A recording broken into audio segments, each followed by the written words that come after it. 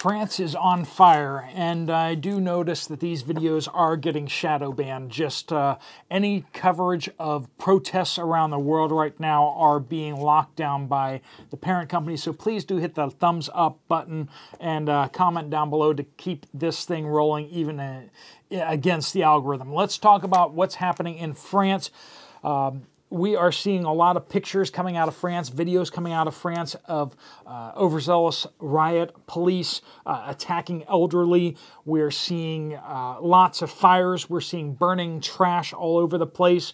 Uh, the French protesters are now targeting trash bins and setting them afire, uh, which is a strategy that we haven't seen here in the United States, uh, which smell it's got to smell pretty horrible.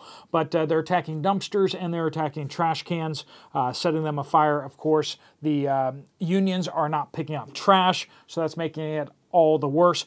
What is happening in France? Well, the French president uh, Macron has narrowly survived a no confidence vote after ramming through the um, retirement age reforms that millions of protesters have been on the streets saying, no, we don't want it.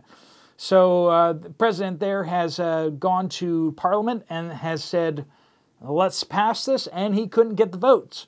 So he just basically did an executive order to ram it through, um, which is apparently sort of allowed by the uh, Constitution there, but uh, everyone's saying that that's not how it's designed to be used in any shape or form. That's for emergency powers, um, not to push through legislation. And that's exactly what he's done. And that has made the French people on the streets lose their minds. Uh, so we are seeing them now attacking police officers. We're seeing them, um, like I said, setting fire to things all around. The country is falling apart. And it's not just France. We're seeing riots and protests all over the world. We're seeing them in the UK, Greece, Israel, Venezuela, South Korea, Nigeria, Moldova, Portugal. These are all safe, peaceful places, places that are not at war.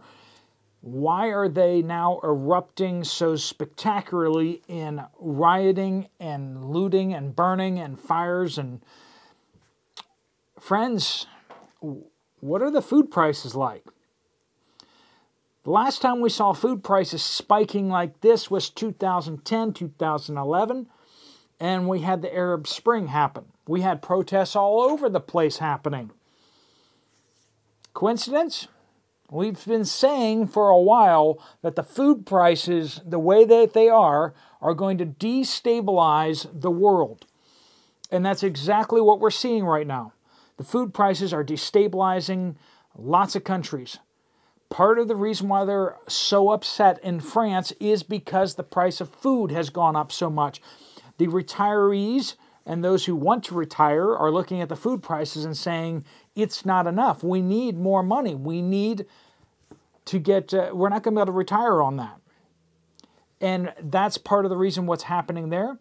I'm not saying necessarily that I agree with one side or the other. All I know is that I don't like the French president, um, but uh, that may be for very different reasons than a lot of people are out in the streets there. Um, it's very interesting in France where you're seeing the far left and the far right coming together in the common purpose of trying to oust that government.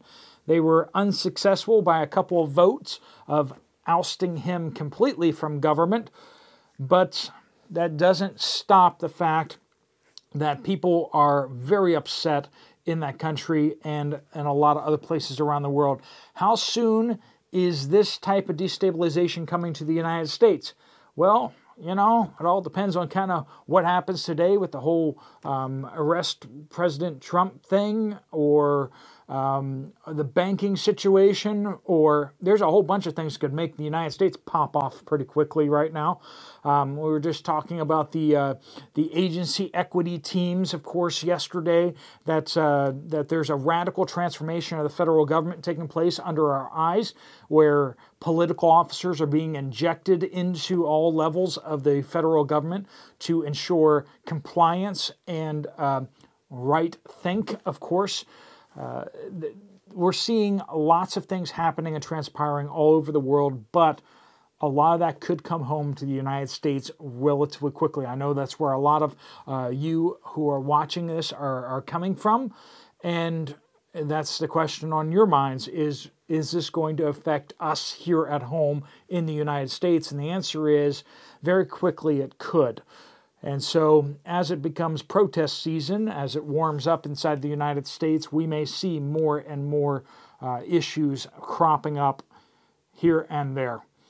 All right, folks, just keep your eyes on what's happening around the world, the food prices, as well as the destabilization of governments all over the place. Of course, uh, in the Netherlands, we're seeing a whole different thing a wave of, uh, of people pushing out uh, government officials uh, through elections. Uh, whether that's going to give them the relief that they're desiring because they've been protesting all the farmers in uh, the Netherlands for a while. Uh, they don't want to shut down half of their farms. Go figure. And when they come for our farms, when they come for our whatever else's, uh, what's going to happen here in the United States? Uh, the clock is ticking on certain accoutrements that go onto boomsticks, right? That clock is ticking right now.